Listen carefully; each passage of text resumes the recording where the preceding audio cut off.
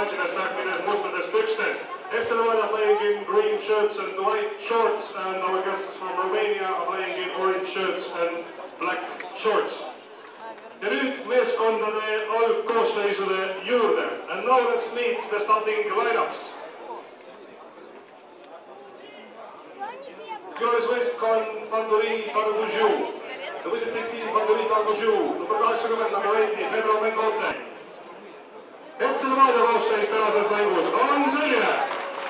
number üks, number one, Roman Fisko. number üheksa, number kolmkümmend kolm, number thirty three, Aleksandr Voltškov. number kakskümmend üks, number twenty one, Aleksei Jakimovitš. number üheksa number kakskümmend kolm, number twenty three, Marek Kaljumäe. number viisteist, number fifty, Aleksandr Dmitrijev. number kuus, number six, ハハハハ!